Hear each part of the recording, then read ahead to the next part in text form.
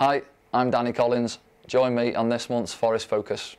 I forgot the most important thing about captaincy, you column in the programme. Yeah, and obviously uh, do me do me column every week with.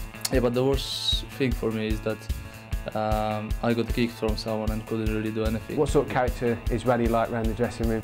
Um, yeah, I think it's probably as most people would guess. He's a, he's a bubbly character.